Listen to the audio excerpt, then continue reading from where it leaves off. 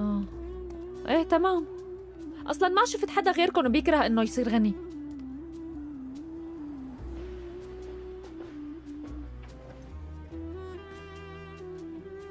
هاريكا لو سمحتي اهدي شوي.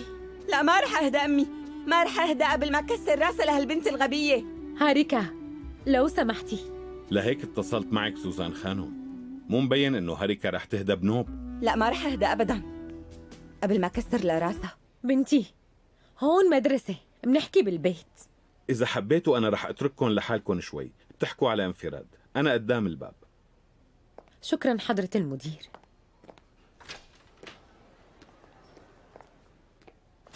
شو هادي اللي عم تساويه؟ شو حكوا معك لحتى صار فيكي هيك؟ قالوا إنه عمر أخي.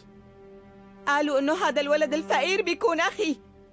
يعني هانوني وهن عم يطلعوا بوشي يا أمي. ما رح أسمع هالشي مرة تانية. ما رح أسمع. نقليني من هاي المدرسة أو حتى قلعوه أو رح تصير مشاكل كتير. أنا عم حذركم. هاريكا.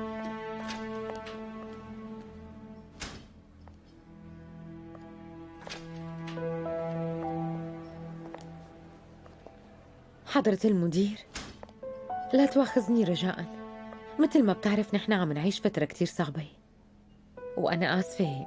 عالشي اللي صار بتمنى تتفهم حضرتك. العفو سوزان خانم. أنا مقدر وضعكم كتير منيح. للأسف كلياتنا شفنا هالشي بالمهرجان. ولهالسبب أنا رح أتجاهل اللي عملته هريكا اليوم. بس إذا ضلت عم تتصرف هيك مع الأسف ما رح أقدر أتجاهلها. لا تقلق أبدا. أنا رح لاقي حل بأسرع وقت. لازم ينتهي هالموضوع.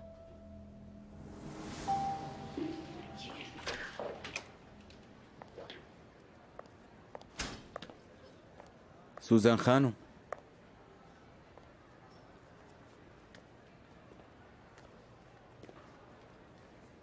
ما في داعي تهربي مني. رجاء لا تخافي. لا مو هيك أبدا. أنا ما عم أهرب. ليكي أنا أصلا كان عندي أب وأم. ما في داعي تقلقي بنوب. اليوم اللي تركتيني فيه قدام باب الجامع مثل كيس زبالة. وقتها انقطعت كل الصلة اللي بتربطني فيكي خليكي مرتاحة.